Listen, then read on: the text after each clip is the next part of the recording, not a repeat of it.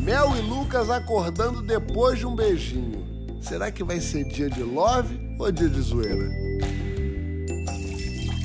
Acho que se dependesse de mim, eu já entrava direto na piscina quando eu acordasse. Hoje eu quero ir nessa sauna aí. Eu ainda tô numa incógnita, assim. O que que vem aí? Será que a gente vai viver, tipo assim, hiper casados na casa? Dando selinho, dando esse negócio, dando essas coisas? Ou será que a gente vai estar uma vibe mais... Quando é que esse beijo vai sair de novo, hein? Bora? Bora.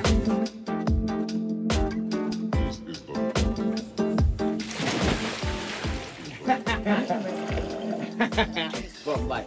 Não, eu vou entrar, eu vou entrar, só não precisa parar. Vai jogar. tô entrando, tô entrando. Será? Toma.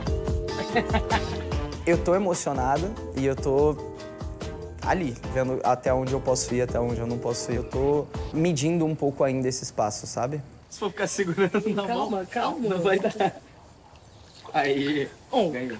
Calma, pelo amor de Deus, vai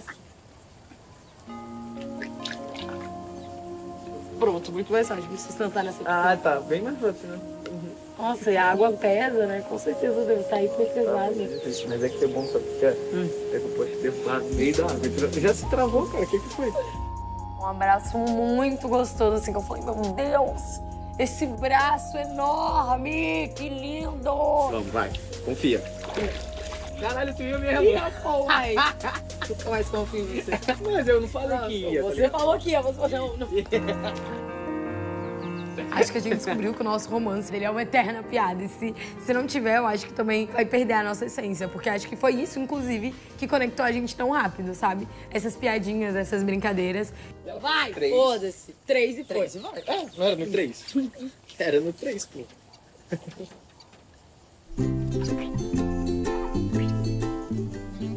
falei 3? Foi justo? Você falou três, eu não Então, eu falei. É porque tu tava embaixo d'água já. Não, não. Falou mentira, tão falso. Ninguém beija inimigo, gente. Não tem esse negócio. Pra você ter um relacionamento com a pessoa, ela tem que ser sua amiga. O que vai virar no final das contas, a gente vive e descobre.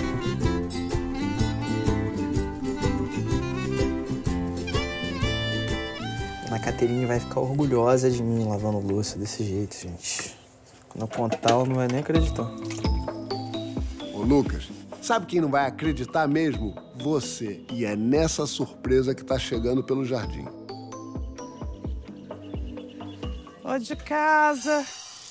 Oi, oi. Tem alguém com fome aí? Que isso, gente? Oi. Oi, meu amor. Ai, Como é que senhora tá, Que saudade. A minha mãe, pra mim, é tudo na vida, sendo muito sincera. Já bateu um nervosismozinho de tipo assim, putz, e aí, será que ela vai gostar da Mel? Será que não vai gostar da Mel?